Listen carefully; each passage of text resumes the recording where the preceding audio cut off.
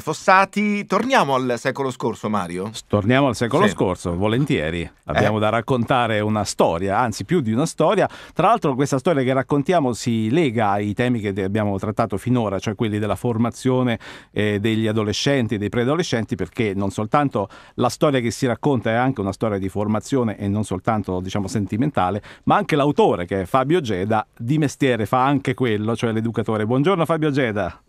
Buongiorno, buongiorno a voi. Buongiorno. Eh, allora, non fa soltanto quello, fa anche lo scrittore. eh, il penultimo libro che gli ha dato anche un grande successo. Era comunque anche questa una storia di ragazzi ed era nel mare ci sono i coccodrilli, sempre per Dalai Editore, adesso pubblica un nuovo romanzo che si chiama L'estate alla fine del secolo. Eh, ed è eh, l'estate di riferimento, eh, Fabio Geda, è quella del 99.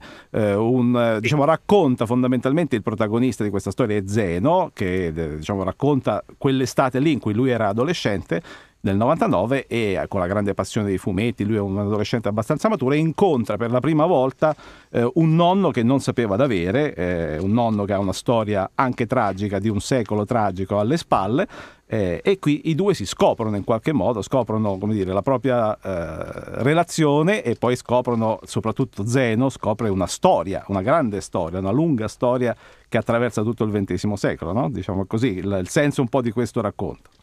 Sì, e che ha la fortuna che gli venga raccontata esattamente dalla persona che l'ha vissuta ed è un'esperienza che purtroppo non a tutti, non a tutti capita, quella di avere dei nonni in grado di raccontarti il secolo appena, appena passato. E la nostra società in qualche modo non facilita questa relazione tra nonni e nipoti, che invece è ricchissima.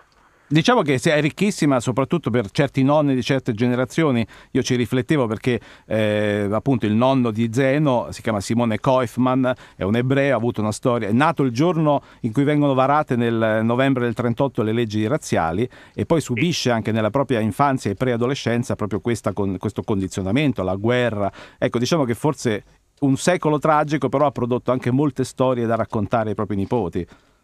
Sì, ma infatti guarda, eh, alla, alla fin fine, come dire, il, il cuore del romanzo era esattamente quello, nel senso che a me non interessava di per sé né parlare della Shoah, perché mi sembra che di libri su questo argomento ce ne siano già in abbondanza e anche molto più, come dire, eh, eh, approfonditi di quanto io avrei mai potuto fare, ma mettere in campo proprio eh, la relazione la relazione che si crea tra due generazioni così diverse, fra chi sta scoprendo la vita e se stesso e chi invece con la vita sta facendo i conti. Per cui questo trapasso di nozioni, eh, di- diciamo per via maschile, era in realtà quello che io davvero volevo raccontare.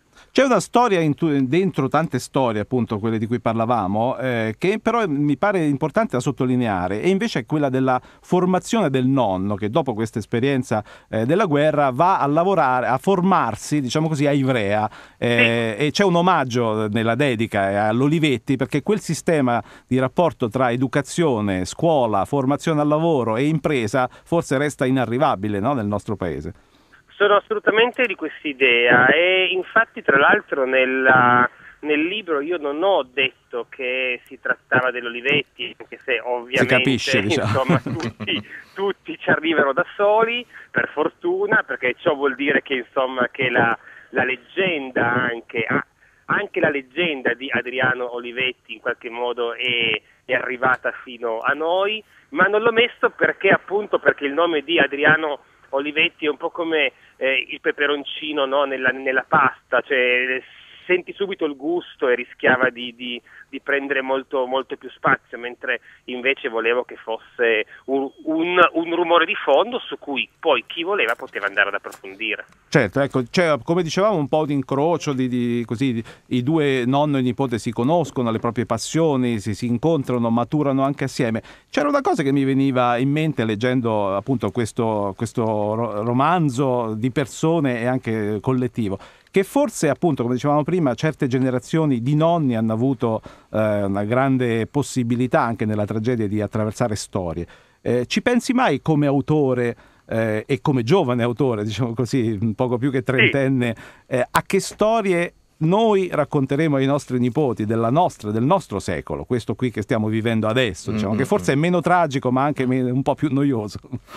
E questo no, in realtà come dire è una tragicità più sottile e quindi forse anche meno, meno epica ed è per questo che siamo molto depressi, credo, perché alla, alla fin fine eh, è un secolo secondo me che, che, è partito molto male, molto, molto male, ma con degli aspetti di eh, città decisamente inferiori, per cui non saper, cioè, ancora non sappiamo che tono dargli. Sì. E quindi in, in, infatti anche le storie, poi Ascolta, io sto parlando dell'Italia perché invece certo. il resto, come dire, nel resto del mondo accaso, accadono cose ben più epiche, evidentemente. Diciamo che in Ayatollah Akbari avrà delle storie ecco, da raccontare ai propri stavo... nipoti notevoli, diciamo. Stavo pensando esattamente a questa cosa qua. Che Ed Ayatollah Akbari, è, ecco, lo dico, è il protagonista appunto del libro Nel mare ci sono i coccodrilli che racconta la storia di questo ragazzino che dall'Afghanistan con tanti peripezie è arrivato in Italia. Quella sì che è una storia io, da raccontare ai nipoti. Mario, scusami, Fabio, forse sarà una domanda sì. scema, però volevo chiedere a, a Fabio Geda, la, la, scelta del nome, che nella letteratura è un nome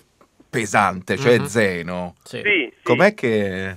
Ma guarda, in realtà è, è, assolutamente casuale. Io quando comincio un libro mi innamoro di un, di un nome che, che, mi sembra che, che, che in qualche modo eh, quel personaggio possa chiamarsi soltanto in quel in modo. Quel modo sì, sì. E, ehm, in realtà è successo che un, un, mio amico ha avuto da poco un bambino e l'ha chiamato Zeno e, e io ho pensato che il mio personaggio eh, sarebbe stato benissimo con un nome del genere, però lui nasce in Sicilia e quindi non c'è nome meno siciliano di, di Zeno. Eh, e, certo. e, e, allora mi sono dovuto nel libro inventare tutta una piccola giustificazione che ovviamente è connessa alla coscienza, nel Zeno, senso sì. che poi il nonno è un lettore di Svevo, insomma, certo. però in realtà tutto nasce dal fatto che io ho cominciato a pensare a questo ragazzino chiamandolo Zeno nella mia testa e non potevo più farne a meno e quindi mi sono arreso. Beh, era, fatto, era, già nato. Hai fatto bene perché poi alla fine della fiera eh, Zeno ha inaugurato il secolo della coscienza italiana 150, eh, 120 anni fa, cioè in qualche modo 110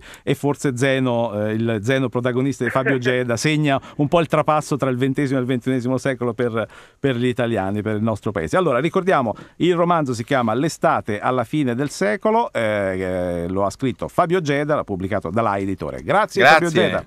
Grazie a voi, ciao. Ciao. ciao.